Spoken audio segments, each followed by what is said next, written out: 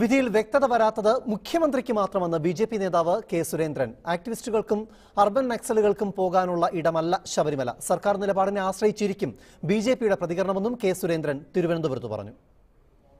Government ഇപ്പോൾ ചെയ്യേണ്ടത് ദേവസ്വം ബോർഡും ഗവൺമെന്റും. ഈ കോടതി വിധി വന്ന പശ്ചാത്തലത്തിൽ സുപ്രീം കോടതിയോട് ആവശ്യപ്പെടണം.